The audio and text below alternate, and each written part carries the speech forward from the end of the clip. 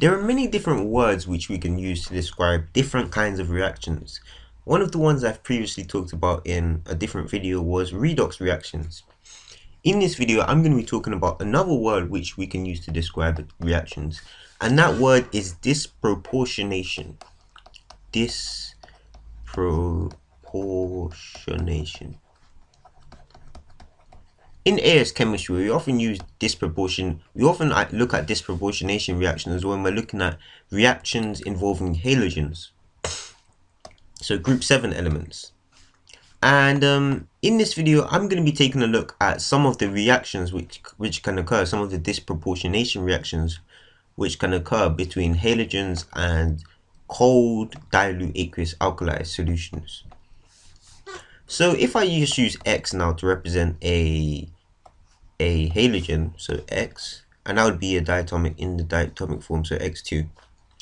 And this was to react with a some sort of alkali, so maybe sodium hydroxide, so NaOH. When this reacts, what it's actually going to form is NaXO and NaCl, uh, well not Cl since this is just X, NaX and H2O. So it's going to form those three products. Now, disproportionation, this word is used to describe a reaction in which an element is both oxidized and reduced. So, as in, when we're not talking about redox in like, okay, one element is being oxidized whilst a different element is being reduced. What we're talking about is the same element is being oxidized and reduced. So, in this particular reaction, if we take a look at the ionic equation, so let me just quickly um, write out the ionic equation for this reaction. So it's going to be X2 and Na is an ion on both sides. So we're going to just cancel out the NAs on, on both sides. So to balance this equation, I'm going to need to put a 2 in there. So 2, 2 NaOH. And so I think that, yeah, that balances now.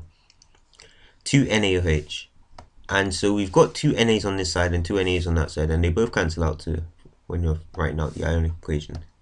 So X2 plus OH minus react to produce produce XO minus because the Na plus, so it's going to be XO minus plus X minus plus H2O.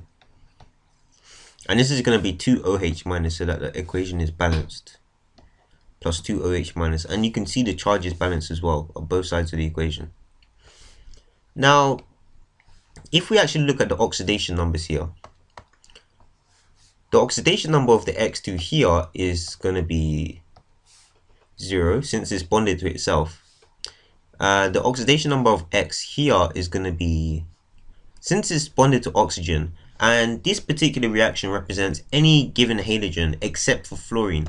So if we take a look at the, this, this um, table I've got here, this shows the Pauling scale of electronegativities and a higher number means more electronegative. So if we look here, fluorine is more electronegative than oxygen, but all of the other halogens are less electronegative than oxygen. So this uh, particular reaction I'm looking at does not involve fluorine. So any halogen except for fluorine. And so the X2, when it reacts, is going to form XO minus, and the oxidation number of oxygen is going to be 2 minus, as usual, whereas the oxidation number of the halogen is going to be uh, to balance this out since 2 minus needs to be added to something to make just 1 minus it needs to be added to 1 so the oxidation number of the x is going to be plus 1 and over here the oxidation number of the x minus is just the charge on it. So it's going to be minus 1 so just looking at the x uh, the, the different uh, oxidation numbers of the x in this equation, we can see that from x here to x in this particular compound, the um the x has been oxidized. Its oxidation number has gone up. Now from x, which is oxidation number 0 here, and it's gone to minus 1, we can see that it's been reduced. And so this single element has been both oxidized and it's been reduced. So therefore, therefore it's a disproportionation reaction.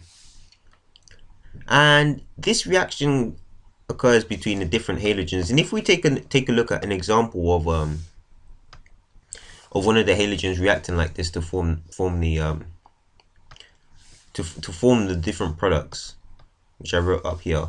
So let's take bromine for example. And bear in mind the reason why this is able to happen is because oxygen is more electronegative than than whatever halogen. So oxygen is able to maintain its usual oxidation state. Okay, so let me draw out Br2 and I'm gonna use I'm probably gonna use yeah brown for this. So I've got brown now, uh, Br2 and that reacts with the 2OH minus, no well 2 2 NaOH, 2 NaOH and that produces the NaBRO and anytime I look at this, I think it says NABRO. So, and then it produces NaBr, which is sodium bromide, and it produces um, the H2O. Now, this particular um, this particular compound here is often referred to as being sodium bromate. Sodium bromate. And since the bromide, the bromine in this particular molecule has an oxidation number of 1, we often put the 1 here. So this is sodium bromate I. And if it was chlorine, it would be sodium chlorate. And um, maybe iodine, iodine, sodium iodate. So yeah, that's how the naming would be of this particular part. And so this would be sodium bro bromide, like usual, and so on. So yeah, so that's how a disproportionation reaction can occur. And in the next video, I'll be taking a look at how this can happen with chlorine to form bleach. So yeah, I hope you guys found this video helpful and I'll see you guys in the next video.